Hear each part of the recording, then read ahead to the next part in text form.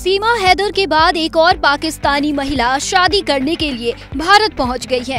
कराची की रहने वाली जावेरिया खानम आज बागा बॉर्डर के रास्ते भारत पहुँची। उनके मंगेतर समीर खान ने बागा बॉर्डर के पास उनका स्वागत किया और फूलों का गुलदस्ता भेंट किया। वह अपने पाँच साल पुराने प्रेमी समीर खान से शादी करेंगी। सोशल मीडिया पर इसका वीडियो अब तेज़ी से वायरल हो रहा है। भारत पहुँचने पर जावेरिया ने अपनी प्रतिक्रिया भी दी है। भारत पहुँचने पर जावेरिया खानम ने मीडिया से बातचीत में कहा कि, मैं भारत सरकार का शुक्रिया अदा करती हूँ। हम पाँच साल से एक दूसरे को जानते हैं। भारत के वीज़ा के लिए हम काफ़ी समय से कोशिश कर रहे थे। मैं बेहद खुश हूँ। मैरिज वीज़ा को लेकर भी प्रक्रिया होनी चाहिए। के लिए फ़िलहाल तो मुझे मतलब लगा था इस लव स्टोरी की हैप्पी एंडिंग होगी। लाइक हैप्पी एंडिंग ये।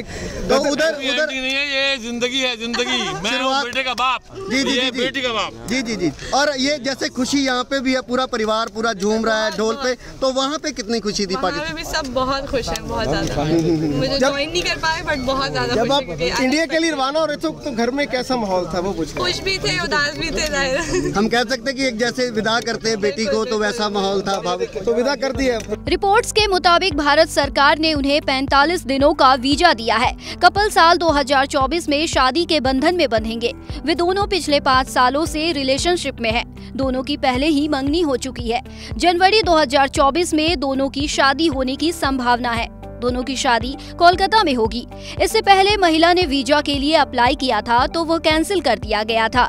इसके बाद दोनों के परिवार हताश हो गए, लेकिन महिला ने दोबारा वीज़ा अप्लाई किया। समीर ने बताया, मैं काफ़ी खुश हूँ की मेरी मंगेतर भारत आ रही है। हम जल्द ही निकाह कर लेंगे। 45 दिन के बाद हम वीज़ा एक्सटेंड के लिए आवेदन करेंगे। जब जावेरिया का वीज़ा कैंसिल हुआ था तो हम दोनों के परिवार काफ़ी परेशान हुए थे।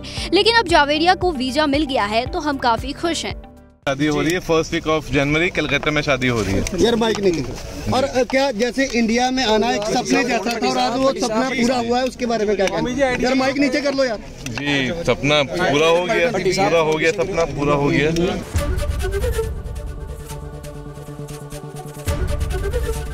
एबीपी गंगा खबर आपकी जुबा आपकी।